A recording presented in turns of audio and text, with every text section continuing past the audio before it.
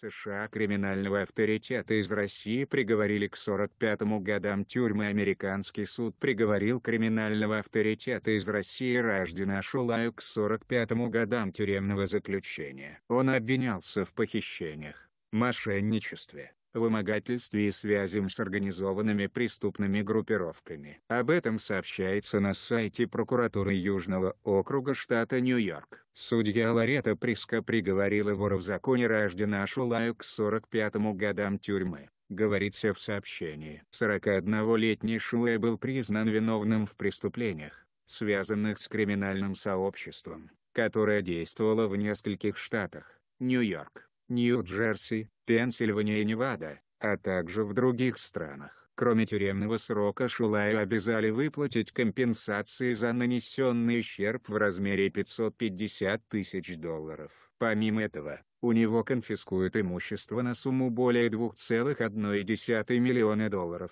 Также после выхода из тюрьмы Шулей будет обязан находиться минимум три года под особым полицейским надзором. Власти Соединенных Штатов предъявили обвинение Рождену Шулая еще 32 выходцам из бывшего СССР в июне текущего года. В частности, 27 из задержанных, по версии работников правопорядка США, были связаны с группировкой, которую возглавляли Ражден Шулей и Зураб Джанашвили.